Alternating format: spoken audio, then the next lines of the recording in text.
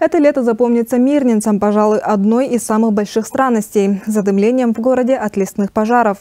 Странность в том, что тайга в регионе не горит, но стойкий запах жители ощущают уже больше месяца. По сообщениям представителей лесничества, это результат изменения направления ветра. Именно он переносит дым от лесных пожаров из соседних районов. Так, в минувшие выходные сильное задымление наблюдали работники вахтового поселка Накын в Нюрбинском районе. Там зафиксировано несколько очагов. Соцсетях даже распространили слухи, что якобы огонь угрожает производственным объектам Нюрбинского комбината. Однако в самом ГУКе эту информацию опровергли. Эта ситуация с пожаром на Нюрбинской площадке стабильная, задымления на площадке нет, хотя огонь подошел достаточно близко, на расстоянии около километра. В целом ситуация следит руководство комбината. Непосредственно я сегодня сюда приехал, здесь специалист по ГОЧС тоже находится.